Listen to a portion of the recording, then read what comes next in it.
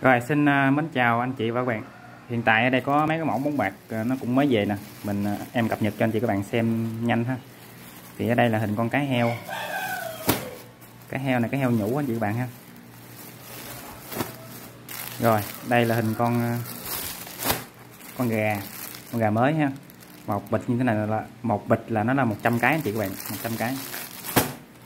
Rồi, đây là con Kitty nhũ. Kitty nhũ đây. Đây là máy bay ha. Máy bay nhũ. Cái mẫu này từ ha. Đây là con chim đại bàng mới. Hay là con ngỗng á. Con ngỗng ha. Con ngỗng con chim đại bàng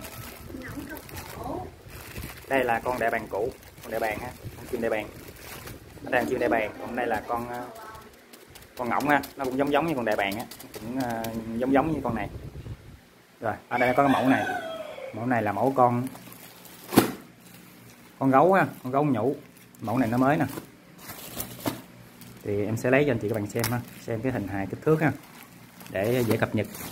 Ba mẹ thấy đẹp thì lấy về bán. Còn anh chị thấy đẹp thì mong anh nó chơi. Đây, em sẽ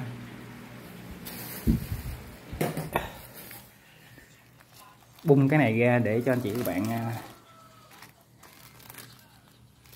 thấy à, cho nó biết được kích thước của con này ha con này nó giống như là con con con con con con con thỏ con thỏ nơ á. Thì mấy cái mẫu này em đã cập nhật trên website rồi. Này con gấu nhưng mà nó có một cái mẫu giống con thỏ là con thỏ nơ. Nó hệt như mẫu này nè. Thì cái mẫu con thỏ nơ đó anh chị các bạn vô cái website của em á. Cái đường link em để dưới phần mô tả của cái video này ha. Anh chị bấm vào đó. Rồi anh chị đến cái danh mục đó là bóng bạc á. Rồi vô hình con thỏ nơ thì nó cũng giống như mẫu này bây giờ cái mẫu này nó cũng tương đương nè. Một lốc như là trăm cái chị bạn ha. Rồi, anh chị đo ha. Xem kích thước. Một cái miếng gạch đó là 50 cm một miếng gạch là 50 cm nó hụt qua tới bên đây là, qua tới đây là gần nửa nửa tấm gạch ha. Thì nó à, khoảng cỡ hơn 75 cm chị bạn ha. 75 cm về chiều dài ha. Rồi chiều ngang thì anh chị so ha. Nó cũng bằng một tấm gạch đó. Thì nó dễ hình dung hơn.